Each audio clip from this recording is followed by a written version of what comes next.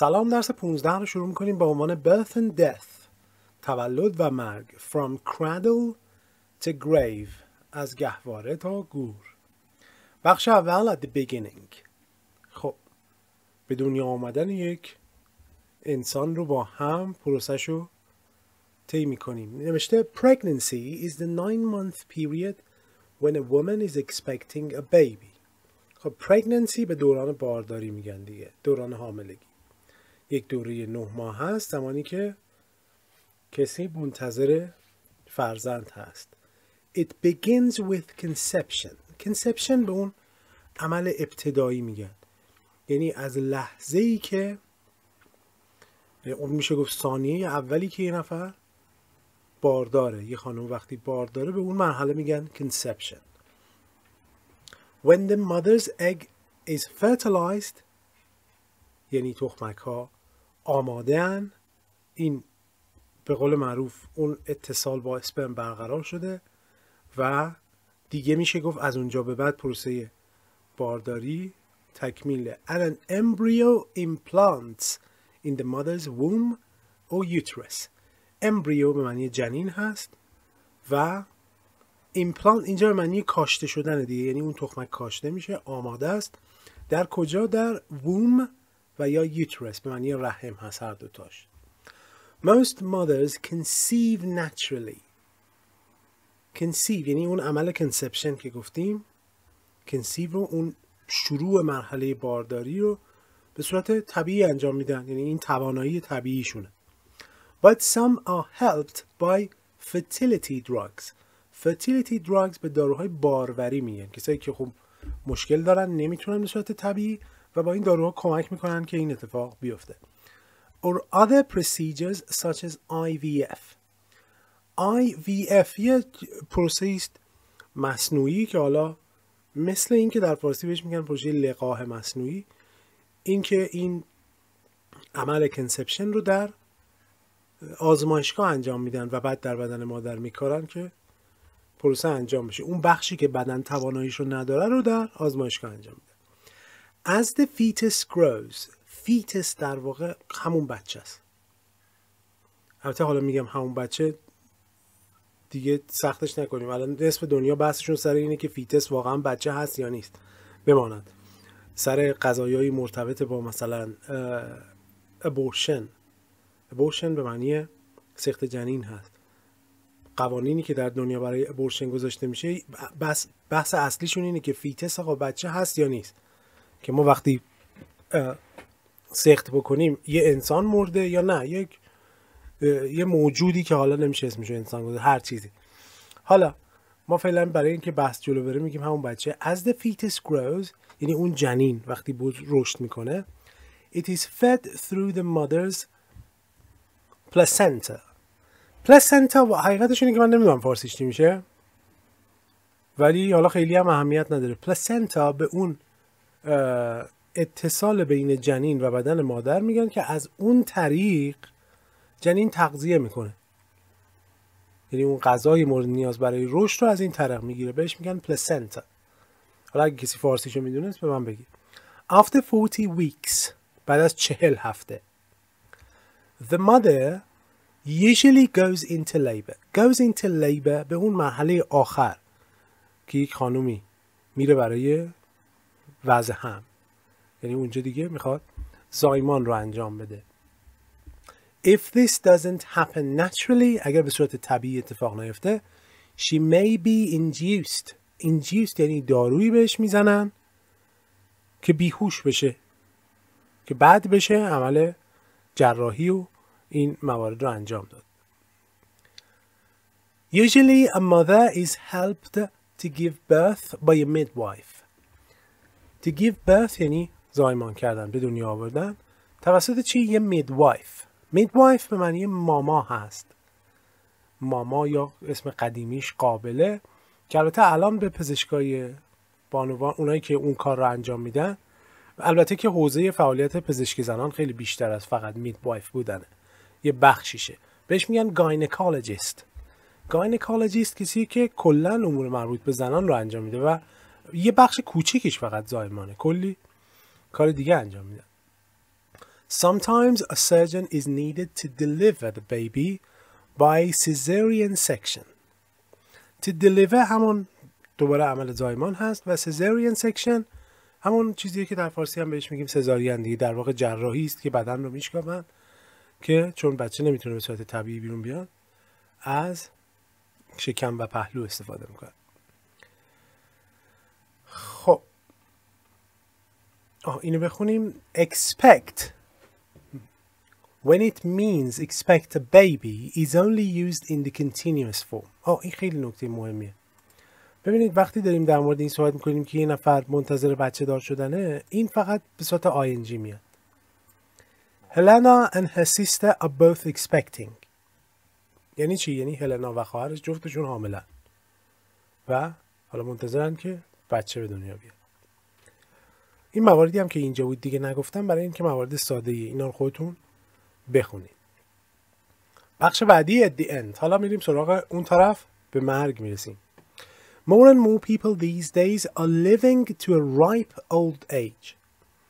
میگه آدم های بیشتری دارن به پیری ripe old age یعنی به یک دوران پیری می‌رسن. منظور این که طولانی تر عمر می‌کنن. همه دیگه تو جوونی نمیمیرن یا مثلا میان سالی و بچگی و این حرفا. چرا؟ به واسطه اینکه خب کیفیت زندگی بالاتر رفته خدمات پزشکی و همه اینا. باعث شده که طرف به پیری هم برسه. My aunt for example that's my late father's sister. Late یعنی مرحوم.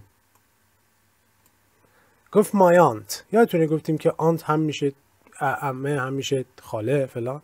اینجا داره توضیح میده.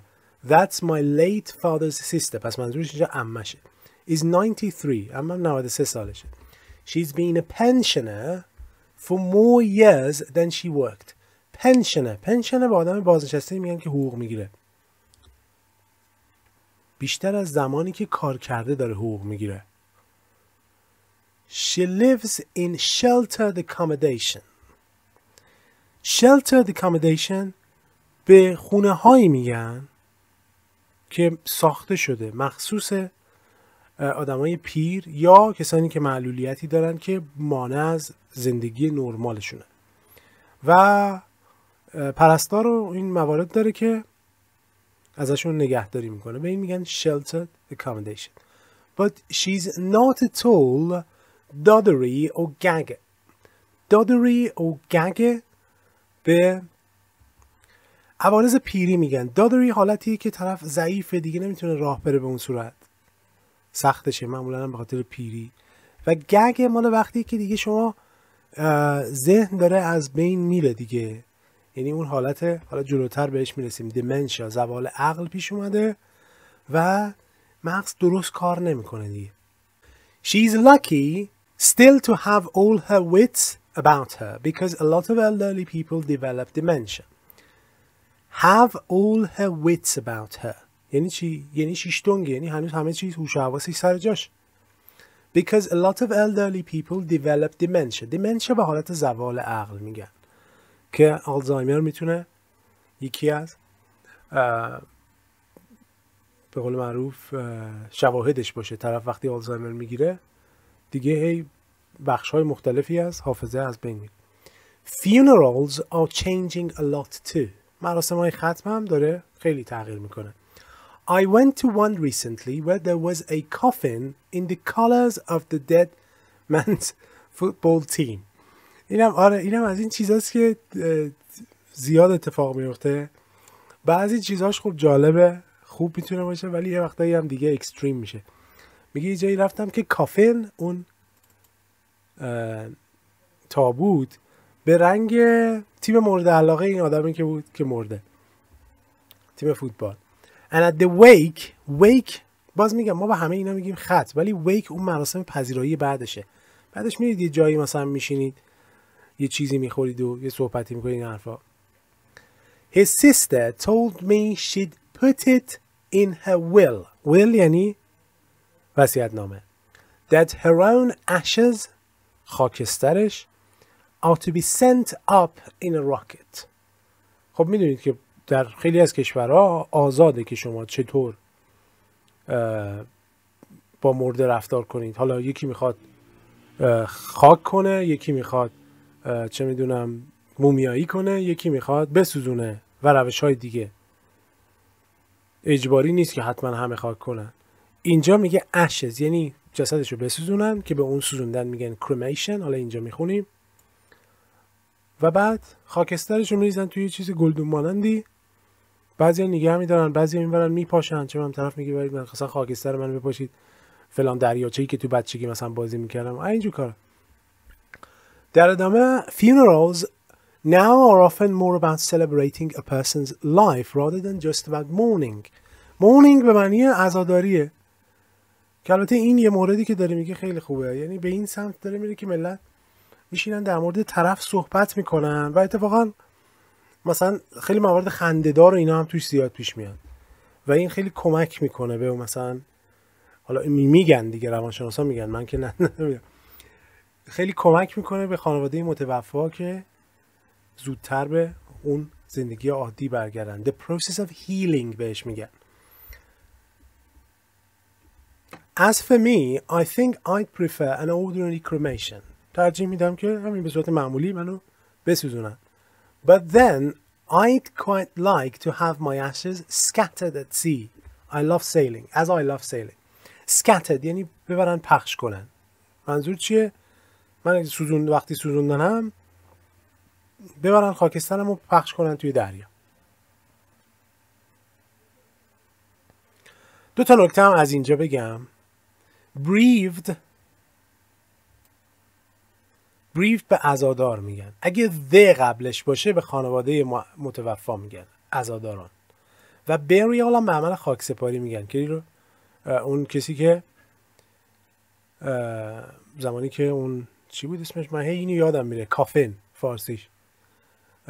تابوت. زمانی که این, تا... این تابوت رو می‌ذارن توی خاک به اون عمل میگن بریال و کریمتریوم به همون جاییه که کریمیشن انجام میشه. مرد سوزخونه. چی میگن؟ واقعا نمی‌دونم. این کلمه رو خودم در آوردم مرد سوزخونه بهش میگن. چی میگن؟ خلاصه به اونجا میگن. بخش سومم death in different registers. خب. ببینید حالا می‌خوایم مرگ رو توصیف کنیم دیگه به شکل های مختلف. Expressions of sympathy. اول اینکه به یه نفر چجوری بگیم آقا غم آخر بشه تسلیت. می‌تونیم بگیم my condolences و یا please accept my condolences. کاندول این نیستم condolences. و یا I was so sorry to hear of your loss و یا learn of your loss. به این حالت. یه نکته اینجا بگم تو کتاب نیومده بنویسم. یه آدمی رو می‌بینید مثلا یه مشکلی مثلا طرف یه ما پیش یه کسیش فوت کرده. این طرف رو که می‌بینن معمولا بهش نمیگن how are you یا how's it going. بهش میگن how are you holding up. How you holding این آرش هم می‌تونید نگید. How you holding up. این همون حالت چطور است؟ ولی منظور این که من می‌دونم حالا تو فارسی خیلی سخت میشه دیگه. یعنی من می‌دونم که یه اتفاقی برات افتاده الان وضعیت چطوره؟ به این حالته.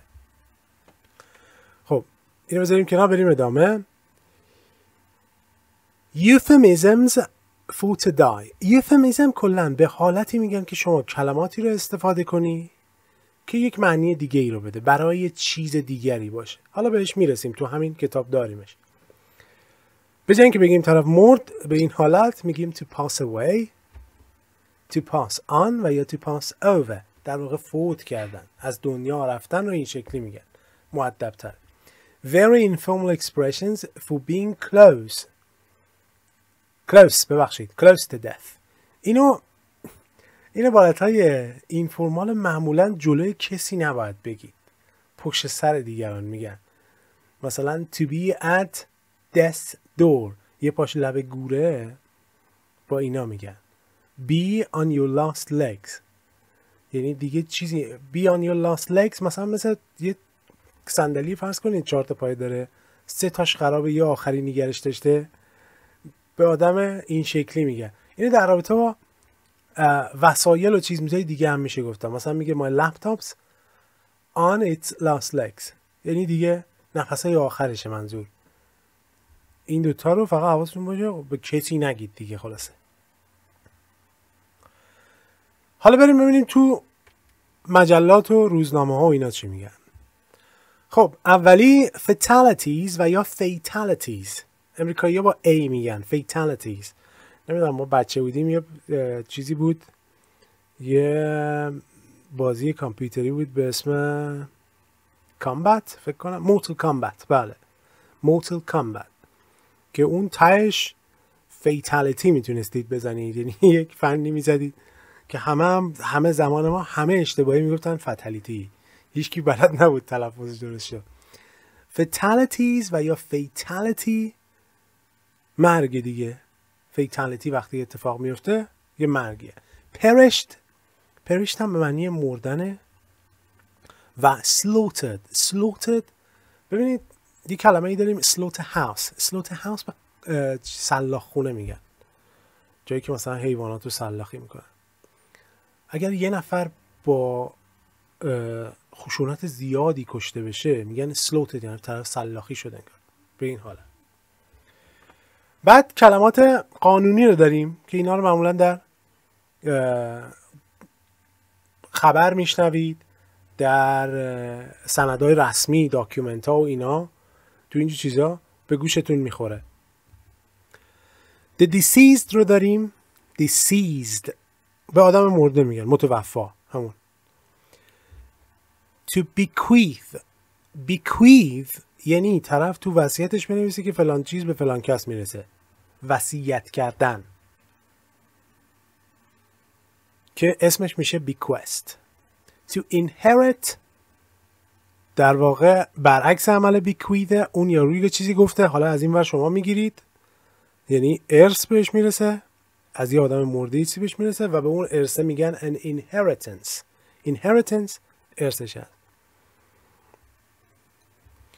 و آخری هم to die intestate. Intestate معمولا مرگای ناگهانیه دیگه. کسی که میمیره و چی اسمش وصیت نامه از خودش به جا نمی‌ذاره. به اون حالت. کسی که وصیت نامه از خودش به جا نمی‌ذاره میگن intestate. نکته ای که مال درس که تموم شد می‌خواستم یه نکته ای بهتون میگم توی این درس از همه واضح تره ببینید در ما الان تو حوزه C2 هستیم دیگه. این کلمات بیشترشون حتی برای C1 هم نیستن. برای C1 هم سنگینه. حوزه C2 حوزه که شما رو از زبان آموزی داره جدا می‌کنه.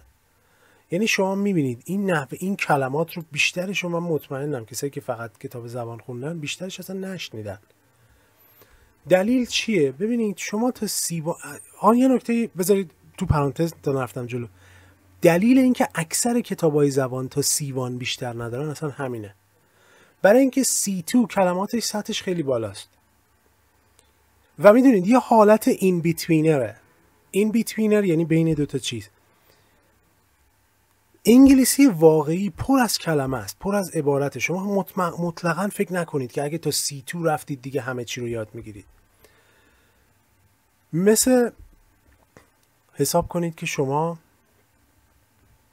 این رشته کوه ها رو می‌بینید؟ یه تپه اول میرید بالا و فکر کنید تموم شد پشت سرش یک کوه بزرگتر می‌بینید. این دقیقا مثل زبان میمونه. از ایوان تا سی تو رسیدن مثل رفتن بالای همون تپه است. تپه سخته واقعا. ولی نوکش که می‌رسی تازه می‌بینی پشتش ای بابا دیده نمی‌شد. یه کوهی سه برابر این عظمت داره. اون کوه بزرگی زبان به معنی واقعیشه. ولی شما وقتی به سی تو که می‌رسی سی تو مرز این دوتاست یعنی هم سطح شما را از دوره زبان آموزی از سیوان جدا می‌کنه هم از اون ور بهت نشون میده که اون طرف قضیه چقدر بزرگه. و برای همینه که بسیاری از زبان آموزا یک اصلا به سیتون نمی‌رسن چون خیلی وقتا بهش نیاز پیدا نمی‌کنن. نیاز پیدا نمی‌کنن. یعنی مثلا تا همونجا براشون کافیه. اما کسی که میره می‌خواد و در دنیای انگلیسی زبان حل بشه می‌خواد توی اون کشور زندگی کنه کار کنه پیشرفت کنه مجبور تا سی تو بره و بعد از که به سی تو رسید در واقع با اون واقعیت عظیم روبرو میشه که اوه این طرفش تازه صدها برابر لغت و اصطلاح و نکته و اینا هست. من یه بار یه مثال دادم من زمانی که نه گرفتم فکر می‌کردم که خیلی خوبم. یه مدت که ازش گذشت پیش خودم همیشه مثالم میگم احساس کردم که زبان از صد نمره بود و من تا از این این هم مدت که خوندم نوشی گرفتم. 90 یکیش مونده. یه همچین حالتی واقعا باید براتون پیش بیاد. این واقع بینی معمولا زمانی که شما سطح عوض می‌کنید پیش میاد. زمانی که دارید بی تو تمام می‌کنید میرید تو ببخشید بی رو تمام می‌کنید میرید تو بی تو این تغییر معمولا اتفاق میفته می‌بینید که یه دفعه لغت ها سخت شد حجمش زیاد شد. و همین حالت توی سی تو هم هست. پس دلیلی که اکثر کتاب سی تو نمیدن برای اینکه مکالمه روزمره و این موارد اینا تا سیبان حله. ولی از C2 بعد شما وارد دنیای جدیدی میشید که دیگه انتها نداره. و کلی نکته و مطلب داره که این کتاب یکی از دلایل علاقه من به این کتاب اینه که اینو درس دادم. و Oxford Word Skills رو درس ندادم برای همینه. که ببینید در دنیای C2 و اون سمتش چه میگذره. خیلی جالب میشه. کسایی که به این مرحله می‌رسن خودشونو میرسونن. به نظرم آدمای خوشبختی هن چون یاد می‌گیرن با اون زبان ارتباط نزدیک برقرار کنن. خلاصه که تو همه کتاب ها بهتون گفتم که از اینجا سطح عوض میشه از اینجا فلان میشه. این کتاب از درس 15 به بعد قشنگ داره مفهوم زبان آموزی در سیتو و بالاتر رو توضیح میده. اگر که باهوش باشید و اینو بگید. خلاصه تمرین رو انجام بدید. سوالی اگر براتون پیش اومد هم بپرسید و از همه چی مهمتر مرور کنید. تا جلسه آینده.